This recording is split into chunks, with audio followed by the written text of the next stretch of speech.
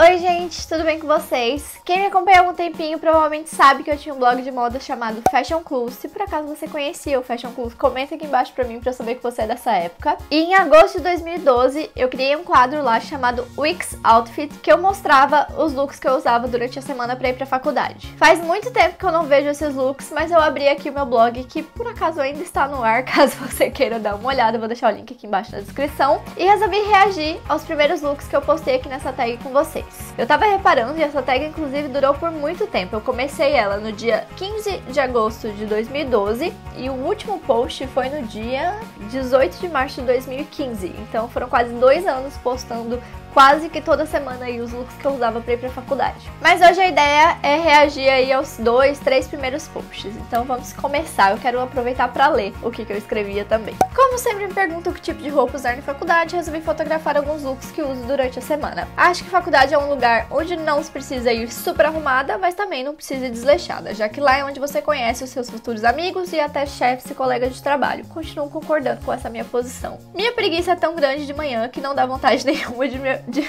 Minha preguiça é tão grande de manhã que não dá vontade nenhuma de mudar as coisas para outra bolsa. Então eu acabei usando a mesma bolsa todos os dias, mas achei até legal porque consegui montar vários looks bem diferentes com o mesmo acessório. Ó, desde sempre já com essa ideia de repetir a mesma coisa em vários looks. E como meus sapatos são quase todos na casa da minha mãe, por quê? Porque eu não tinha trazido meus sapatos pra cá ainda. Acabei usando três vezes a mesma bota também. Hashtag reciclagem na moda.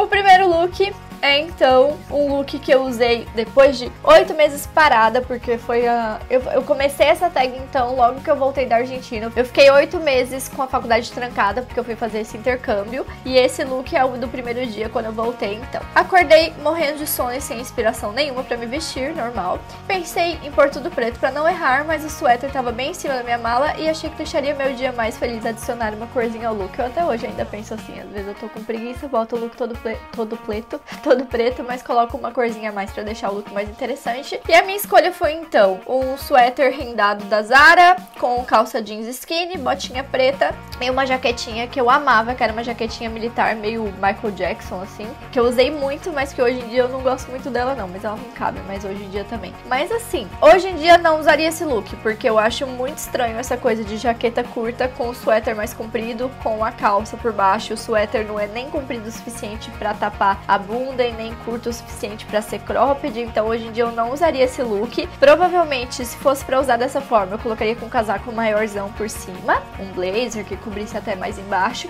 e colocaria o suéter por dentro da calça também. Mas os acessórios, a bolsinha, a bota, o colar eu ainda gosto. O que você tá fazendo? Tirando uma foto minha. Tirando uma foto? Posta e me marca pra eu postar que você tá muito profissional. Estar tá roendo unha, parece. O segundo look tem uma combinação de cores que eu usava bastante, que eu gostava muito e que faz bastante tempo que eu não uso, que é mostarda com marrom e roxo. Na verdade, nessa época eu usava bastante, assim, peças em tom um pouco mais marrom, mais caramelo, mais... Tons um pouco mais terrosos, mas sempre puxados para tons mais frios, porque eram os tons que combinavam mais com o meu tom de pele. Mas hoje em dia eu não, não uso muito esse tipo de cor, não é um tipo de cor que eu gosto muito. A legenda desse look é... Terça-feira foi um dia lindo e mais quentinho. Acabei nem colocando casaco, só a blusa de manga comprida, mas como ela é amarela e super da minha cor, optei por colocar o lencinho estampado por cima para dar um contraste. Aula de colorimetria servindo para algo. Eu tinha acabado de voltar de um curso de colorimetria que eu fiz na Argentina e realmente foi nesse momento que eu comecei a perceber assim um pouco mais sobre cores que combinavam comigo, como combinar cores com outras cores também. E isso que eu falei faz muito sentido. Meu cabelo tava loiro bem mais claro e a blusa acabava ficando numa cor muito parecida. Então se eu não tivesse colocado o lenço por cima, eu ia ter ficado muito pálida com esse look, sabe? Muito amarela. Então, o lencinho estampado, com o tom mais puxado pro roxo, que é uma cor bem contrastante com o amarelo, deu esse ar um pouquinho mais vivo pro look. É um look que eu gosto, não sei se eu usaria exatamente assim hoje em dia, provavelmente mudaria algumas coisas, porque nessa época vocês podem reparar que eu gostava muito de colocar só a parte da frente da blusa pra dentro, e hoje em dia eu já gosto de colocar a blusa inteira pra dentro, né? Eu gosto bastante de usar calça de cintura alta com a cintura bem marcadinha, com a blusa toda pra dentro, mas ali em 2012 eu usava mais calça não tão alta, até porque ainda era um pouco difícil de encontrar calça de cintura bem alta e colocada pra frente só colocada para dentro só aqui na frente. A bolsa era vinhozinho, combinando também com o fundo do, do lenço. Minha botinha marrom, eu usava bastante marrom nessa época, hoje em dia quase não uso também, mas é um look que eu gosto. Comentem pra mim aqui embaixo o que vocês estão achando dos looks. Se vocês acham que fazem parte do meu estilo de hoje em dia ou que não tem nada a ver mais com o que eu uso. Look 3. Aí, de repente, montei um look com estilo totalmente diferente dos outros. Acostumem-se. Isso é muito normal quando se trata de mim. Haha. Depois de meses longe da minha Perfecto, que é esse modelinho de jaqueta de couro, fiquei até desacostumada a usá-la. Sempre tive dificuldade em montar looks com ela por causa do zíper, que é bem grosso e aparente. Continuo tendo essa dificuldade. Aí, para resolver esse problema e me aquecer mais, coloquei o cardigan por baixo e usei ele meio dobradinho na frente da jaqueta, escondendo o zíper. Que inteligente que eu fui. Aí eu pude colocar uma blusa estampada e um colar mais cheio de penduricalho. Gostei desse look. Provavelmente eu não usaria a legging com a camiseta dessa forma, eu usaria com uma calça de cintura alta com a blusa pra dentro, mas gostei da, da ideia. Eu gosto bastante de fazer essa sobreposição de cardigan com jaqueta de couro, eu acho que fica...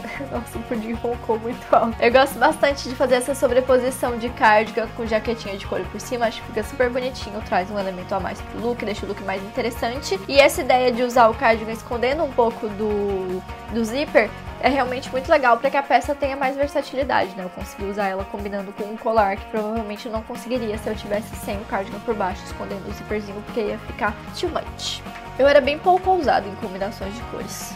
É, cara, eu usava tons de cores muito diferentes do que eu uso hoje em dia. Tipo, eu não uso mais esses terracota, essas coisas assim. Eu uso outra vibe de cor hoje em dia. Esse foi meu look preferido da semana. Depois que fiz o post sobre ponteiras, fiquei morrendo de vontade de usá-las novamente. Acabei fazendo uma mistura de jeans claro mais jeans, jeans escuro. E pra sair um pouco dos tons de azul, de, dos tons azuis, usei de novo o suéter de renda da Zara. Tô apaixonada por ele, sinto vontade de usar todo dia. Eu doei esse suéter ano passado. Achei que combinando com o coque rosquinho, o look ficou bem fofinho. Realmente, o look ficou bem fofinho. Mais uma coisa que vocês não vão ver em look nenhum meu hoje em dia é tornozelo coberto. Gente, se eu uso calça, não importa que tipo de calça que eu uso, eu sempre dobro a barra. É tão normal pra mim que eu já guardo as minhas calças com barra dobrada. Tipo, tô com uma mão jeans aqui de outro vídeo que eu gravei, eu já guardo elas assim, com a barrinha dobrada, porque eu já sei que eu vou usar com a barrinha dobrada, sabe? E nessa época eu não usava ainda, até porque eu usava muita legging. Hoje em dia eu não uso mais tanta legging, porque eu não gosto de calça tão justa no corpo. E usava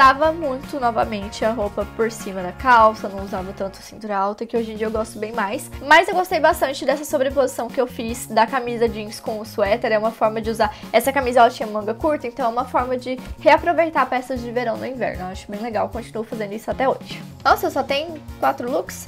É, uma, uma, semana de looks de aula seriam cinco looks. Não sei se eu faltei aula algum dia ou não postei, sei lá, talvez algum dos dias eu fiquei com preguiça e não me arrumei. Vamos pro segundo Wix outfit. Como quase todo mundo já sabe, eu tô sem computador e por isso não tô podendo fazer post frequente. Mas como vocês gostaram de post das looks da semana passada, arrumei um jeito de postar logos da semana passada. Quê? Não, pera. Mas como vocês gostaram do post de looks da semana, arrumei um jeitinho de postar logos da semana passada para não ficar atrasado. Eu não faço ideia de por que, eu tava sem computador. Eu sei que eu não tinha celular nessa época. Não, eu tinha, tinha, tinha ganhado o iPhone, olha só. Na última semana acabei fotografando só três looks. Aham. Sempre acordo atrasada e quando volto da aula fico morta de preguiça de tirar foto. Mas foram um pouquinho mais elaborados do que os da semana passada. Então vamos lá. Primeiro lookinho. Ando, ando comprando looks bem fofinhos ultimamente, mas sempre gosto de quebrar um pouco usando algum acessório mais pesado. Nesse caso, a bota e o colar de viado. Por que, que eu achei que esse colar de viado era um acessório mais pesado? Ah, porque ele era um. Era um crâniozinho de viado. Entendi. Minha vibe de pesado nesse momento. Que, que foi? Acabei achando que esse look ficou bem parecido com a Bruna Vieira do Depois dos 15. Realmente é a cara da Bruna Vieira nesse mesmo período que ela usava muito boininha e look desse estilo. Eu acho que pela boininha e pela saia mais rodada, eu até ia colocar um batom vermelho, mas achei demais e usei um rosinha. Ah, essa saia é uma fofura. Ela é toda azul marinho, mas tem dois bolsos na frente em forma de coração. Ah, eu amava essa saia. Ela era da sessão infantil da Renner ou da CIA. Poxa, não tenho mais ela. Esse look é realmente bem fofinho, gosto bastante dele, mas não tem nada a ver comigo hoje em dia. Eu totalmente não usaria algo assim. Eu tô com um suéterzinho que eu ainda tenho ainda uso. A saia, que como eu disse, não tenho mais, porque ela era super pequena. Esse, sobretudo, que eu acho lindo, ele tem uma vibe mais militar, mas também não cabe mais. Aí eu usei uma meia calça, botinha Chelsea, que já era uma paixão desde 2010, mais ou menos, que eu amo muito até hoje, é meu tipo de bota preferido. E a boininha que eu gosto, acho fofa e provavelmente usaria ainda, mas provavelmente por baixo seria uma saia jeans de botãozinho, alguma coisa assim. Não usaria mais uma sainha rodada por baixo desse look. E sei lá, ele tá muito fofinho demais, muito vintagezinho, delicadinho demais pro meu estilo hoje em dia. Sempre quis uma, uma camisa jeans, acho que dá pra compor looks lindos com ela. Encontrei essa no guarda-roupa da minha mãe e apesar de ser de manga curta, já quebra um pouco o galho. Pra tirar um pouco do pesado da camisa e da bota, coloquei a saia plissada imitando o couro. Nossa, eu odiei esse look. Olhando aqui agora, eu tô achando nada a ver, gente. Ele tá muito mal construído. Ele tem a saia que é plissada, que já tem um volume, tem a camisa jeans que é mais dura, mais grossa, já tem o volume. Aí eu tô com um cardigan por cima que também é um pouco volumoso. Não sei, achei que não ficou nada harmônico. Aí eu botei esse colar aqui com os spike, achei nada a ver, não gostei. E para finalizar, já que são só três looks nesse post, o último look é o bom de ter aulas à noite é que tenho muito mais tempo para me arrumar e compor looks mais legais. Realmente, quando eu estudava à noite, eu me arrumava muito mais, fazia looks bem mais interessantes do que de manhã, que normalmente meu look era calça jeans, moletom e tênis. Eu tava morrendo de vontade de usar minha bota nova e adorei com a legging cósmica. E deixei o resto do look todo preto para deixar a atenção nos pés. Nossa, eu fui de bota de salto e com glitter pra aula. Eu hoje em dia provavelmente não faria isso. Acho que esse look super dava pra ir pra um barzinho ou até pra uma baladinha no dia mais frio. Também acho, Yasmin, não pra aula. Mas como eu quase não saio, acabei usando pra ir pra aula mesmo. Tá explicado então por que eu usei pra ir pra aula, né? eu gosto do look, mas também não é um look que eu usaria hoje em dia.